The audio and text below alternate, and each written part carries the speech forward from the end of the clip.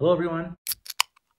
Welcome back to my channel. My name is Jaylen and today I wanted to discuss some big and or intimidating books that I am very nervous to read. I'm always nervous to start a huge book because it's such a time commitment and I don't know, I feel like sometimes even just to be completely honest, being on booktube and bookstagram, there's often like this pressure which is stupid I, I feel like some inherent pressure to be constantly reading and having books to talk about. And so if I pick up a huge book and dedicate my time to it, it takes up so much, you know, of my time could be reading shorter books and getting more turnout. But I do feel like I'm missing out on a lot of really good stories. Like for example, I posted this post on my Bookstagram in which I asked which of these books should I read, and I ended up picking The Goldfinch because The Secret History is my favorite book. And so I did read The Goldfinch and I really enjoyed it. I didn't like it more than The Secret History, but I thought it was a great read. And so now I'm tempted to read some more bigger books because I feel like some of the best stories are long and detailed and just have so much depth to them. And so this is my stack. Some of these are shorter too, just some content books that I'm a little bit nervous to read. Yeah, so let's get into it. Oh, but before we start, as always, I am going to drink today um, a Wren House beer, my local brewery that I love, um, I stand. It's called 3144 Pre-Prohibition Lager. I really enjoy this one. I, I think it's a great solid beer. It's not that high in ABV, I was thinking about pairing like this video with like a heavy ass beer, like a stout or something, but I didn't. Just crack this baby and let's get into it. I'm too lazy to get a glass. I like to drink out of a glass, but not today. So the first one that I have in my stack is House of Goddamn Leaves. This book, I've tried to read this book, I think, twice now. I've made it Ha, I have my book, my bookmark in here. I've been looking for this bookmark and that's where it is. Um, yeah, I made it, is it 19 pages? No. Oh, because there was like this intro part. I was like, I did not only read 20 pages of this book because I feel like I made a lot of, you know, I thought I made a dent in it, but I know I'm like one of the last people to read it that are like book nerds and it's a very um, strange book about a house that is bigger on the inside than it is on the outside. And so I know as you get further into it, um, shit gets weird. Where's like the weird stuff? I've flicked through this so many times. Yeah, it's just, oh yeah, with like the squares and stuff. I don't even know. But um, it's highly recommended. I know so many people say it's one of their favorite books. It's a very, um, I guess, intense read in which people feel, you know, paranoid and claustrophobic because that is a very strange idea. Um, I really like the intro. It was pretty spooky. And so now with like Halloween coming up, I think I might give it one more try. It just gets a little dense in certain parts because it has like a ton of footnotes where the narrator just kind of goes on like a tangent. And I feel like it's going to lend itself to the insanity that he faces throughout the book. Yeah, I don't know. I'm just, I'm afraid to commit so much time. I know it kind of flies by when you get further into it because the pages get, you know, a little bit more sparse in text or it gets bigger. So yeah, if you're a House of Leaves fan or critic, let me know because I want to know if it's worth the time. I do really want to read this book because I see so much, you know, discourse on it. So yeah, I don't know. Next is Haruki Murakami's um, Killing Commendatore. This kind of goes for any big Murakami book. Uh, I recently read After Dark, which is a super slim book, and I'm a bit nervous to read a longer book of his, like 1Q84 or this one, uh, just because of its length, but also I'm still not completely sold on Murakami yet. Like I really liked After Dark, but I'm not sure um, if I like all of his books. So this is just the one um, long book of his that I had on my shelf, but I do want to read more of him. And I heard this one is actually really good um, from some Bookstagram people. So yeah, I don't know. Let me know if you like this one or his other big book. Okay, next. It's a small book, but I recently picked it up at a uh, book fair, a local book fair, for three bucks. I saw the sticker on it. But it's William Faulkner's The Sound and the Fury. Doesn't even have the title on the cover. But I heard this book is pretty complex and difficult to get into. But I have two friends that really love this book, so I really want to read this book. Just a bit intimidated by um, maybe it being dense. I don't know. I've heard it's a strange book, but I heard people love it. Obviously, it's a classic, so I want to get to it soon. Next, this is a big one, but The Count of Monte Cristo. Is it Monte? Monte Cristo? Wow, I don't know why I don't know that. I feel dumb right now, but um, I picked this up like in high school. I don't even know why, because I wasn't gonna read a big ass book like this in high school. I don't. Did I pick it up? I don't know. So this has been on my shelves for like years now. So long story short.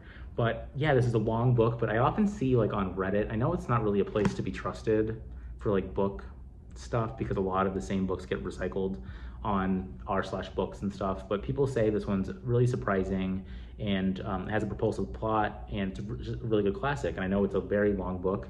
I actually think this version is abridged because it's only like 500 and no, yeah, like almost 600 pages. But I think the actual book is like over a thousand.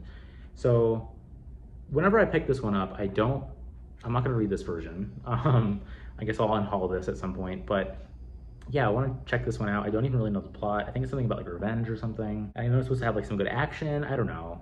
This is just going off top of my head, but I want to check it out. And if you like this one, let me know. Next, ooh, so this one, this is like the definition of a book I'm intimidated by. It's Ducks Newburyport by Lucy Ellmann. Um, I've seen so many really good reviews on BookTube and Bookstagram praising the hell out of this book. It was short, was it shortlisted for the Booker? Yeah, it was shortlisted for the Booker. Um, and I really want to check it out. It's just, if you don't know, it's like a thousand pages of stream of consciousness. And so it's just naturally intimidating because I know it's going to take me very long. And I think what I'm going to do is, you know, read it while I'm reading other stuff and just kind of maybe dedicate like a certain number of pages a week to make sure I'm like making progress through it and eventually get through it. And I feel like what's going to happen is I'm going to get a certain number of pages in and just be totally gripped by it. I've had some friends that have read it and said just do it because you get into the groove. And so I guess we'll see.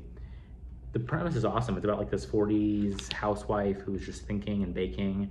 And it's like, you know, a critique on a lot of, you know, modern things such as Trump. Um, so yeah, I am excited to read it. And heavy.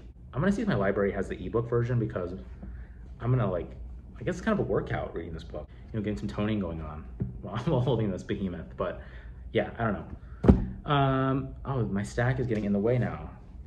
Joy of big books. Ugh. Okay, next is Dune by Frank Herbert. Talked about this in a couple videos, but it's a big one. I know it's kind of older, it's a sci-fi, but you know, the movie's coming out soon. I wanna read it. Not sure if I'm gonna love it but I'm gonna, gonna give it a shot because I dropped some coins on this baby. I think $40, yeah. So I wanna read it in advance of the movie and I think I might be surprised by it. So I don't know. There's a lot of Dune heads out there that are like, Dune is the best book of all time, like please read it. So I'll get to it. Next is A Little Life by Hanya Yanagihara. I feel like my channel is just gonna like eventually just be me every video talking about how I'm so scared to read this book and don't know if I should, but um, one thing that's kind of weighing against my decision to read it is Noelle Gallagher's recent reading blog of this book, in which you know she's she cries and she's really you know wrecked in a sense by this book, and you know she has a really insightful you know ending discussion of this book in which people often seem to you know gather around this book and want to you know commiserate in the trauma that happens in this book and it seems like it's almost now been dubbed as like this challenge like read a little life and see if you cry. You know what i mean? And i just don't know if it's necessarily something i even really want to read um, especially right now because things have been kind of down in my personal life and with covid and it just doesn't seem like the bright book for me right now. But on the other hand alex from a page you on he has you know praised this book and you know responded to the criticisms to it which makes me receptive to reading a book like this, even though it's full of trauma. It's also a great story of friendship. And I can totally see this being something I know it's absolutely worthwhile to read, and I know it has merit, I know it's well written. Um, I just don't know if this is the book for me right now. And so I might just keep saving it, um, and I might not read it. I don't know. I just don't, I feel like pressure to read this book for some reason in the book community, but I just don't know if it's gonna be worth my time per se, given I don't really want something traumatic right now. I don't know my ramble, but yeah, I guess we'll see if I end up reading it one day.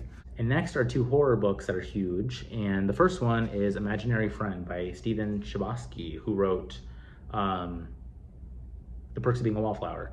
I don't think he wrote a book since that book. And this is like a big 800, 700 page, I think, horror novel. And I've seen a lot of mixed reviews. I've heard it's too long. Some people really enjoyed it.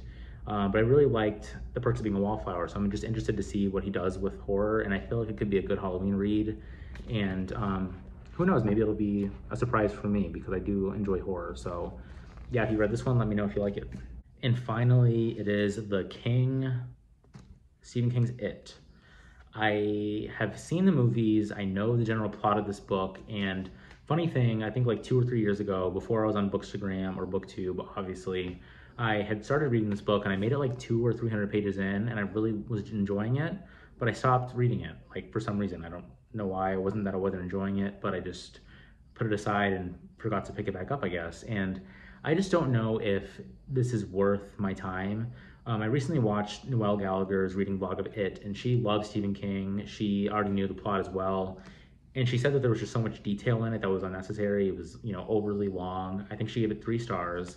And so I just don't know if I want to, you know, spend the massive amount of time it's going to take me to read this book.